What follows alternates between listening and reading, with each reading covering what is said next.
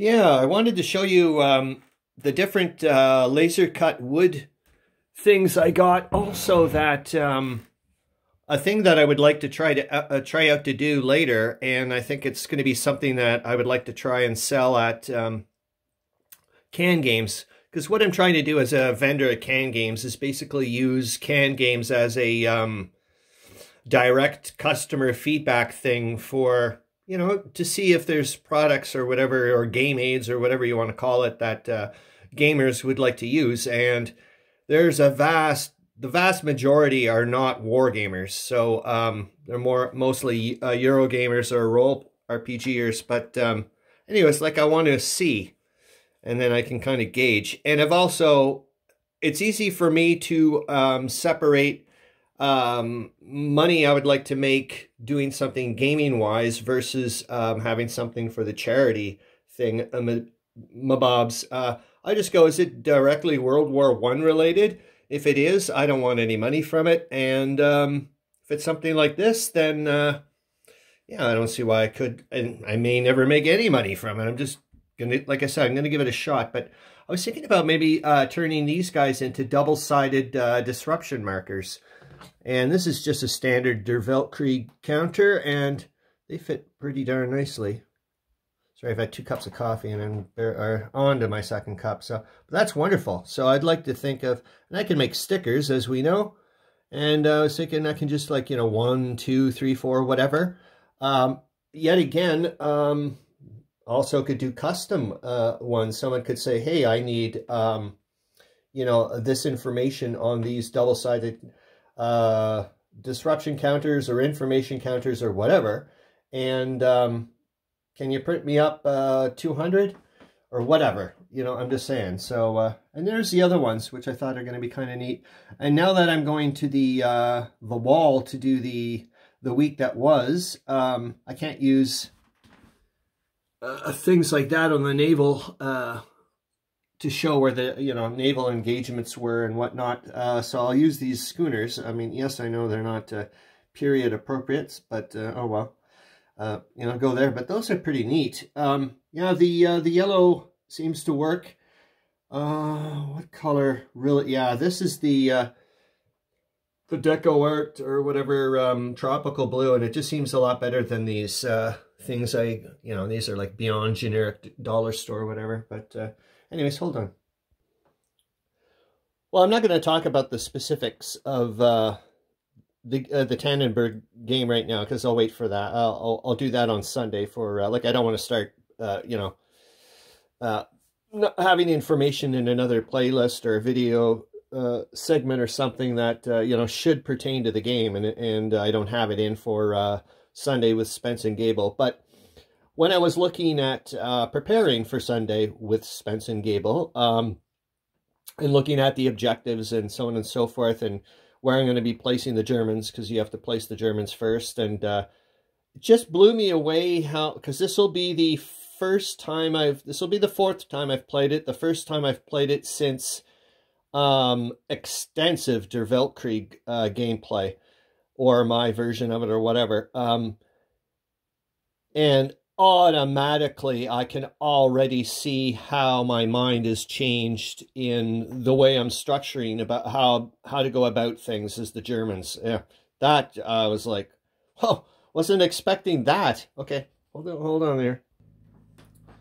Well, there you go, math, fun, and games. Um, those were some forceps or tweezers that I picked up um, almost maybe about a year ago um, that I was considering using. I think they're aquarium tweezers or whatever, or forceps. Um, uh, they work, but holy f, they're pretty ungainly. It, it, the problem is, is the thickness at the end. Um, that's that's pretty thick. So when you get the counters all clustered together, you know, hex to hex, uh, this doesn't work. I also picked up some bamboo ones. They were super light, uh, but yet again, the ends were just ridiculously thick.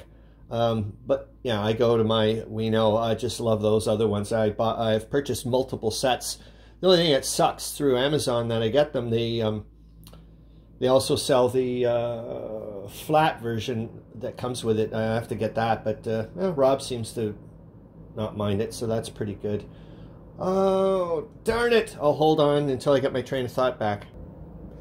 You know what? This is really, I'm so happy that I decided to pare down to uh, just focusing, just kind of, you know, exactly like the Great War was doing. Just go along week to week and not hop around doing one week of all the years. Because uh, now I can, you know, learn so much in context, like I'm flowing with it a lot more. And uh, yeah it's just it's it's I'm finding it far more manageable. And like I said it's helping me out um, finding out all kinds of things. Like know, I'm you know reading up about the uh, the raid on the Suez Canal the initial one and um, finding out uh, like you know I find found out about um, this New New Zealand uh, division I think uh, yep two axes um, they came in to help support the uh, British uh, relief force up there, uh, um, some Indian, uh, I think, a, Gurkha regiment. Yes, 1X, Chris. Um, anyways, hold on, and you'll see what... Anyways, I think, you know what, man? This live stream, the way it's going, um, I've only done 13. Um, I think it's, yeah, I, am happy at the progress it's going, and I like the, where it's going. I'm just, you know, learning, and eventually I'll get better and better. And I'll tell you something else uh, I clued into. I'll show you in a minute. Hold on. I want you want you to see the wall map, maybe. So there you go. You see what I mean? So then I can do that. It's not obviously going to be to the, um, you know, the scales are going to be a bit off sometimes. Um, but then I can also say, okay, what, you know, where was this in a uh, specific Der Weltkrieg scenario and so on and so forth. And we can, you know, discuss and whatever. Yeah, I think, and, I mean, if I keep the map up like this and go week to week, I can leave the fronts, you know? Anyways, I'm liking this.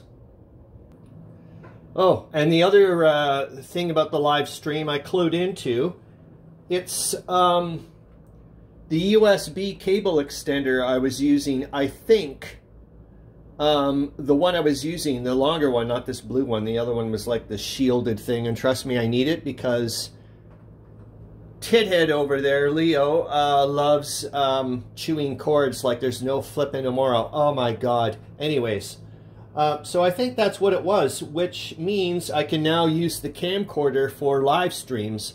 I practiced with it. I set up a um, proxy broadcast thing through StreamYard so I can just hop on in there and test stuff all the time whenever I want to try. Like, oh, okay, what does this split screen look like and so on and so forth.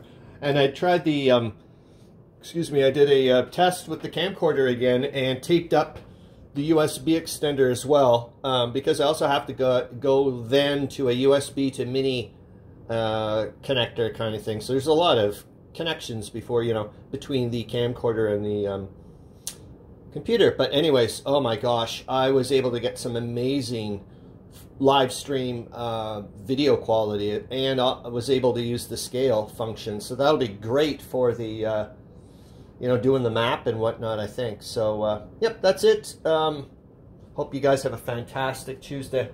I've got about two more hours before uh, I have to bike off to work, but uh, I have to start getting my head even around there and turn off the ambient music and get into reality. Okay, have a good one. Bye.